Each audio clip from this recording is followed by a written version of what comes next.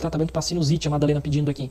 Tem o detox alemão, que eu ensino aqui no canal, que é tiro e queda. Você tem que tomar cuidado, pessoas têm estômago sensível, porque vai o limão, cebola e alho, né? É excelente. Tem um tratamento, só pesquisar sinusite, o canal vai melhor que vai aparecer.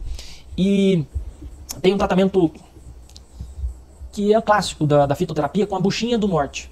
A buchinha do norte, ela tira, puxa para fora. Só que ela tem uma certa toxicidade, então você tem que diluir bem. Ela é pequenininha assim, a buchinha do norte. Corta ela em oito partes. Corta a buchinha em oito partes.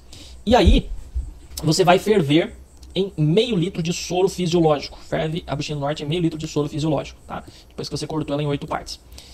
E aí você reserva num vidrinho com conta-gotas e vai pingar uma ou duas gotas em cada narina duas vezes ao dia, vai começar a jogar tudo para fora, ela cria uma certa irritação, é um tratamento tradicional, tá? Se tiver uma reação muito forte, se o seu corpo não aceitar, você suspende o tratamento. Tem que ser bem diluído, fazer dessa forma como eu expliquei. Está dentro do, do manual de tratamentos naturais do nosso curso, toda a explicação, a receita aqui